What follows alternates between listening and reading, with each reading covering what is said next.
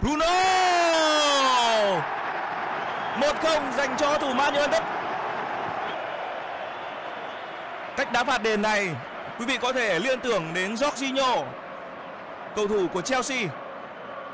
Một người sẽ nhảy ở nhịp cuối cùng và thực hiện một cú đá rất nhẹ, nhưng nó đánh lừa được các thủ môn.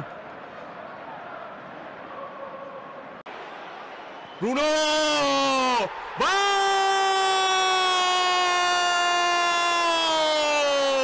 rất đẹp mắt đường truyền của Matic và Bruno đã xuất thẳng vào góc gần.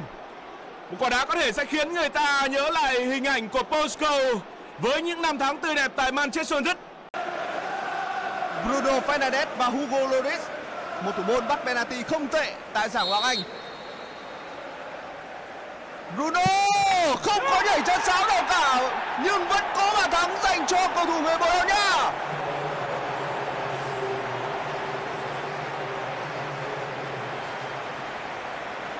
Sau một đợt nghỉ dịch thì người ta đã lo ngại về cảm giác thi đấu của Bruno Fernandes. Cảm giác như đó là một góc sút được lập trình sẵn từ bộ đôi Paul Pogba và Bruno. Một điều tất yếu khi mà các cầu thủ Brighton dâng cao. Người dứt điểm là Bruno. Năm hai. Cú đá về góc xa, kỹ thuật.